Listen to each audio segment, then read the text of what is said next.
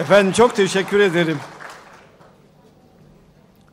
Sayın Genel Başkanım, biliyorsunuz bu protokolü saymak biraz zor ama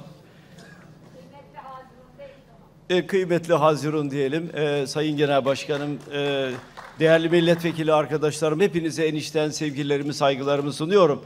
Yol arkadaşlarımla beraber olmaktan, sizlerle beraber olmaktan son derece mutluyum. Gerçekten bugün çok güzel bir tesisi hizmete açıyoruz. Başında e, Avrupa'nın en büyük tesisi olduğu ifade ediliyor. İstanbul kadim bir kent.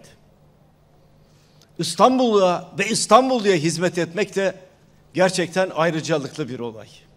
16 milyon insanı mutlu edeceksiniz.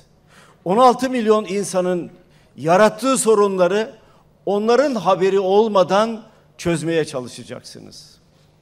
Binlerce ton çöp toplanacak ve bunlar çevreyi kirletmeden bir şekliyle aynı zamanda hizmet olarak halka geri dönecek.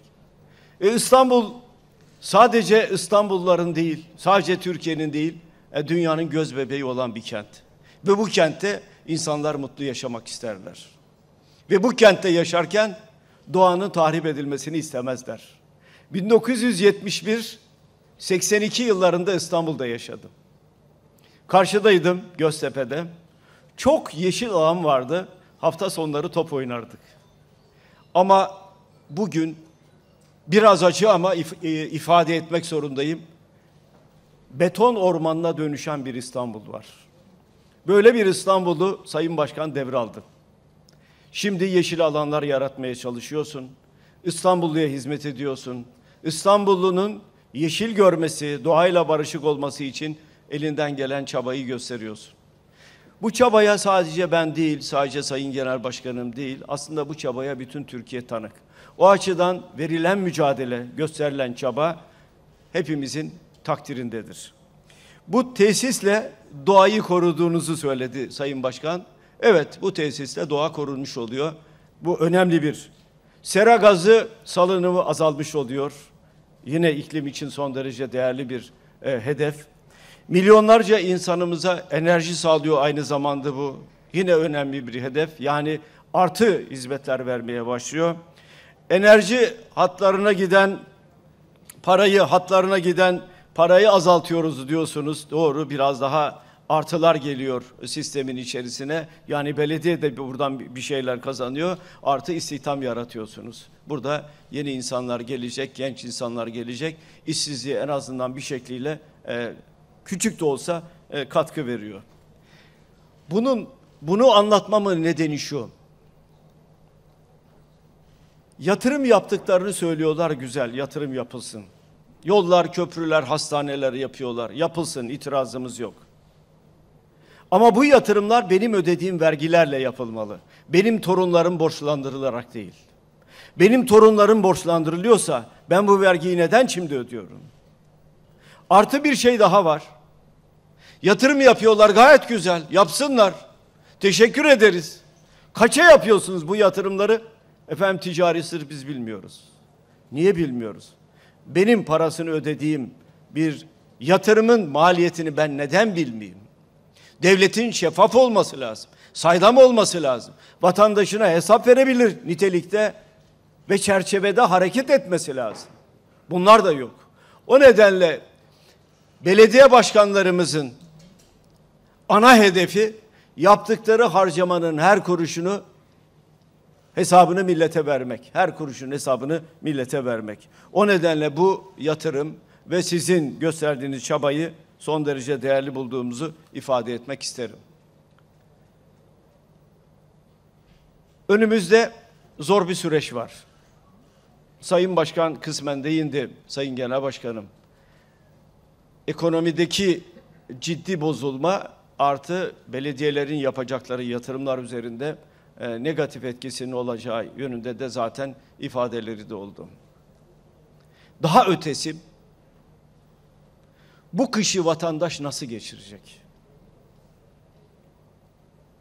Hepimizin, hepimizin, daha doğrusu her siyasetçinin üzerinde durması gereken temel konulardan birisi budur. Bu kışı asgari ücretle geçinen bir kişi nasıl geçirecek? Çok iyi niyetlerle yönetenlere, ülkeyi yönetenlere teklifte bulundum. Bir kara kış fonu kurun dedim. Bu fon vatandaşın en azından bu kışı rahat geçirebileceği bir ortamı sağlamak için çok değerli bir fon olabilir. Elektrik parasını ödeyemeyen, doğalgaz parasını ödeyemeyen, su parasını ödeyemeyen vatandaşlarımız çıkacaktır ve çıkacak. Ve bunlar için bugünden önlem alınması lazım. Gayet iyi niyetlerle. Kaynakta söyledik, yerde söyledik, imkanda söyledik. Bunu yaptığınız takdirde en azından ekonomik belli bir şekilde rayına girerse en azından bu kara kışı vatandaşlarımız biraz daha rahat atlatabilirler diye ifade ettim. Şunu ifade edeyim e, Sayın Genel Başkanım. Belediye başkanlarımız var olan hükümetin yapmadığını yapmaya çalışıyorlar. Kara kış fonu dolayısıyla 3 ile 16 Kasım tarihleri arasında 35.407 ailenin aileye 3 milyon 180 bin 460 liralık nakdi yardım yaptılar. 215 bin 124 aileye 4 milyon 566 bin 916 liralık gıda yardımı yaptılar. 21 bin 271 aileye 9 milyon 504 bin 844 liralık 4597 ton kömür dağıttılar. 108 bin 708 aileye 3 milyon 217 bin liralık eğitim yardımında bulundular. 60 bin 370, e, 324 aileye 1 milyon 21 bin 66 liralık ulaşım yardımı sağladılar. 291 ailenin 54.870 liralık elektrik faturası ödendi. 3638 e, ailenin 153.831 liralık su parası ödendi. 198 ailenin 64.546 liralık doğalgaz faturası ödendi.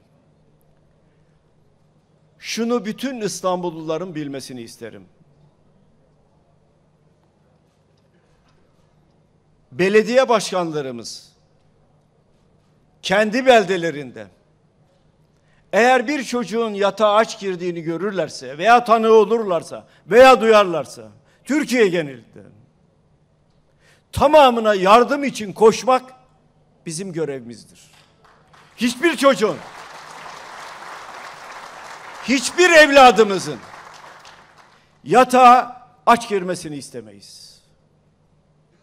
Hiçbir annenin çocuğunu yatağa aç yatırmasını istemeyiz. Onun vebalini birileri çeker ama biz o vebalin tanığı olmak istemeyiz. Her birimize düşen görevdir bu. İktidar sahipleri bunun farkında değil. Emin olun farkında değiller. İki dünyamız oluştu Türkiye'de. Bir sarayın dünyası, bir de saray dışındaki dünya. Arada 180 derece fark var. 180 derece fark var. Biz halkın dünyasıyla ilgileniyoruz. Var olan sorunları çözmeye çalışıyoruz. Bütün baskılara, bütün engellemelere rağmen bunu yapmaya çalışıyoruz. Sayın Genel Başkanım ifade ettim. Az kaldı. Türkiye 13. Cumhurbaşkanını seçecek e, ve Türkiye yeni bir sürecin içine girecek. Hiç kimse endişe duymasın. En geç 6 ay içinde ekonominin çarkları sağlıklı bir şekilde dönecek. Bu memlekete huzuru, bu memlekete bereketi, bu memlekete güzelliği getirmeye kararlıyız. İnşallah dostlarımızla beraber getireceğiz. Var olan, var olan acı tabloyu Türkiye hak etmiyor aslında. Gücümüz var, imkanımız var. Eğer biz İstanbul'da, Ankara'da, Adana'da, Mersin'de, Aydın'da, Eskişehir'de, İzmir'de çok güzel şeyleri gerçekleştirebiliyorsak ve harcadığımız her kuruşun hesabını milletimize verebiliyorsak düşünün Türkiye'yi yönettiğimizde bütün dünya büyük bir imrenle bakacaktır bize. Gıpta ile bakacaktır bize. Evet, bütün kaynaklarımızı halkımız için seferber edebiliriz ve edeceğiz de. Daha güzel bir Türkiye'de yaşamak umuduyla hepinize en içten sevgilerimi, saygılarımı sunuyorum. Hizmeti yapan, yatırımı bitiren, temeli atanlara şükran borçluyuz. Kadir Topbaş'a Allah'tan rahmet diliyoruz ve bu hizmeti bitiren artı İstanbullara armağan eden belediye başkanımıza da yürekten teşekkür ediyoruz.